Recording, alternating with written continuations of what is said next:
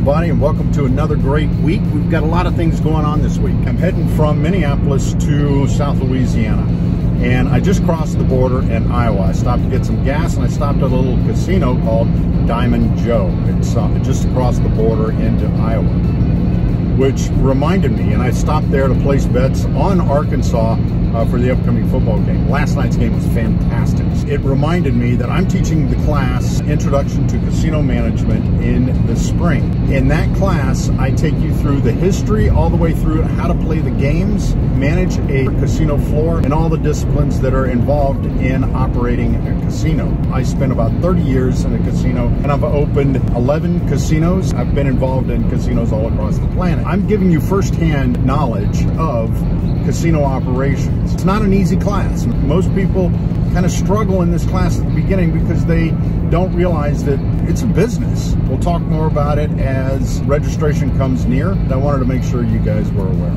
We got a great week coming up.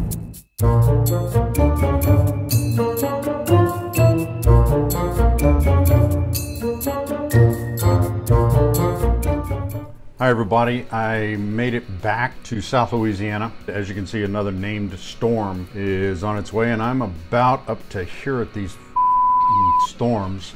Well, this week we're gonna wrap up the hotel portion of this section and we're gonna be dealing with, it looks like hotel food and beverage, uh, which is quite honestly where I got a lot of my start and uh, there's some pretty important concepts in that that we will cover on our exam next week. Uh, more information on your exam coming up. Not to worry, it is, I believe, 50 points, multiple choice, and it is from a test bank that I developed along with the author of your textbook. We collaborated on some of this, and I've added some of my own based on the supplemental materials. Hopefully, you're understanding the rhythm that we're going through here. If you have any questions, please reach out to me. Some of you already have, and that's fantastic.